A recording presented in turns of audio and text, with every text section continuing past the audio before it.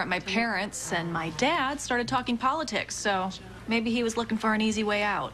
Uh, It's a joke, Skippy. I see we're still getting the intern straight from Mensa. Okay, so the whistle isn't compromising his airway, but I still like to get some x-rays to pinpoint the location. Okay. I swear to God, this kid'll stick anything in his mouth. dude, careful. Times have changed. No, no whistling at the ladies.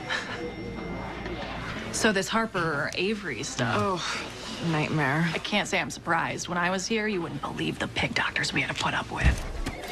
So, what are we looking at?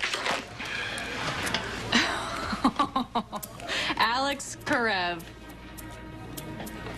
Perfect. Olivia. You two know each other? Is he still giving nurses syphilis or has he moved on to gonorrhea?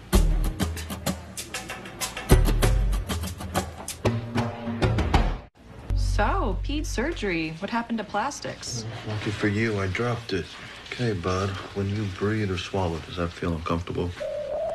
So, still in Seattle? God, no. Got the hell out. Sacramento. Met my husband. He's intelligent, kind, faithful.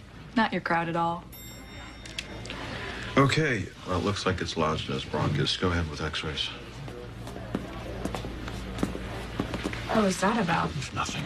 Get chest and abdominal films. Keep an eye on his pulse ox. What, Alex, wait.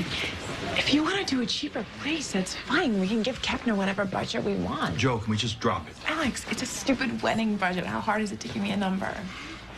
So, is someone gonna come get us or. Yeah, we're gonna bring him up right now. Are you and Karev engaged? Yeah. Best of luck with that.